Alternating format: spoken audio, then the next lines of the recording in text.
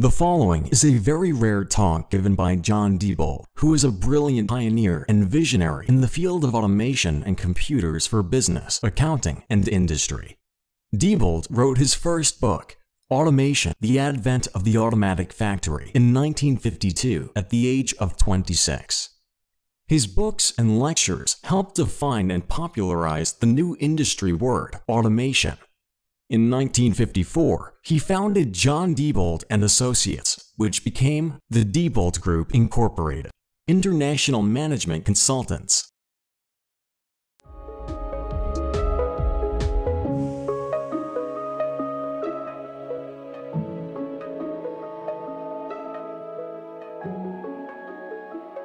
Under the hot lights of the film camera, John shares some of his thoughts on automation and society.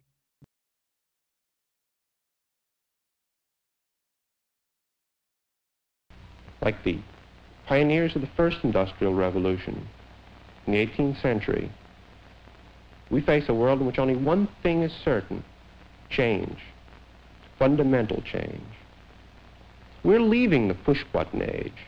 We're entering an age when the buttons push themselves. Far-sighted people see in automation not only an opportunity to reduce operating costs, but an opportunity to create new products and new services. I think it's fair to say that automation offers as much and as great an opportunity and a challenge and a reward as any that we've ever known in America. We're going to find that we have to reconsider our whole approach to work itself because we will start to have more and more of our life occupied by leisure.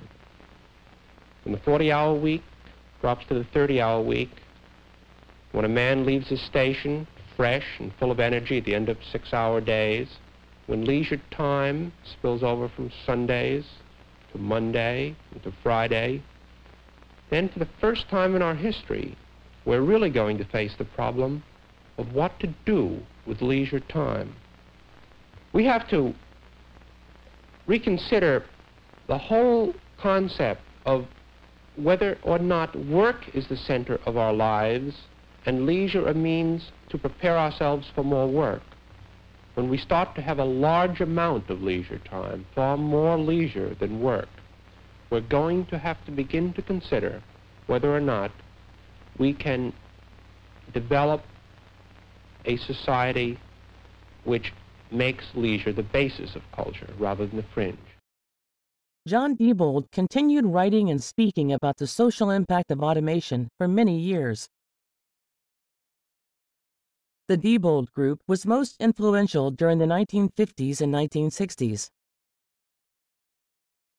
In the 1950s, he was invited to speak before the first joint congressional hearing on automation.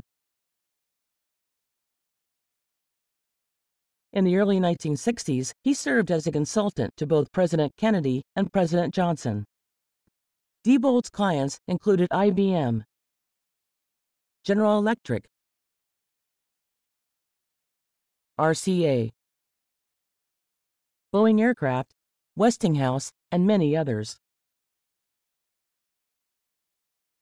They published periodic reports on the computer industry, which remain valuable historical resources to this day.